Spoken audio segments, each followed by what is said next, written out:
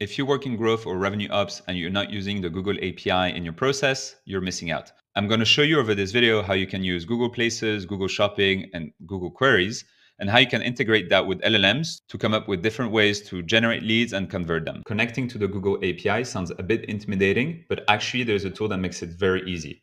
This tool is called Serper, and this is an API that allows you to connect to all the different types of Google products. And I'm going to show you how it works. Essentially, here you have different types, and every type relates to a specific Google product.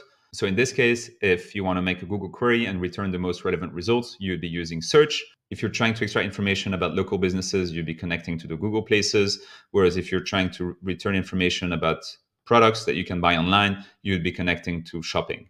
This information from Google can be used to automate your prospection, nurture leads, personalize your outreach, or just create lead generation tools that can help you build trust with leads to eventually convert them. All right, so let's start with how you can use the Google Maps API to find local businesses to target. In this case, I'm searching for restoration companies in Miami and what this is going to return is super interesting. Here you get the title, which is the name of the company, you get the address, you get the phone number, and you get the URL. And this is very helpful if you want to then scrape the website, analyze it using LLMs to help you figure out if you want to actually reach out to them. I use this for my lead generation tool, Firescan, to automate my outreach to restoration companies, public adjusters, and attorneys across the US.